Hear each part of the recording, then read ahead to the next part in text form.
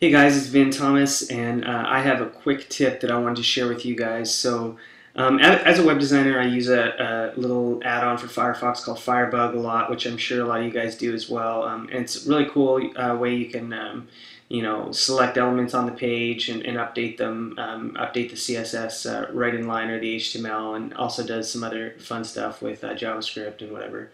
Um, but anyway, one of the things that's always kind of bugged me about Firebug is um, editing hover states, and because uh, you know, say I wanted to like say this link here, which you see kind of goes um, to that teal color when I hover over it.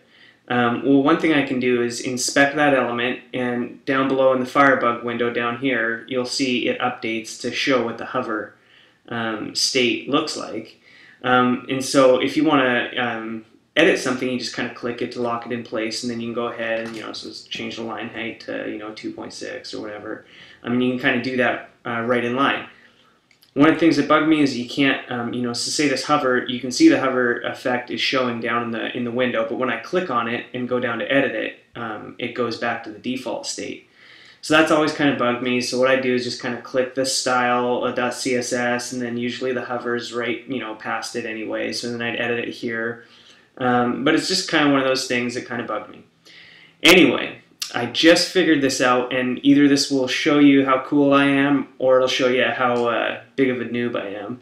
But uh, if you if you select an item, um, there's this little triangle by style, and so if you click that, there's active and hover. If you click hover, you'll see up above it actually locked in that hover state. So I could go ahead and change, you know, so let's change the drop shadow to, whoops.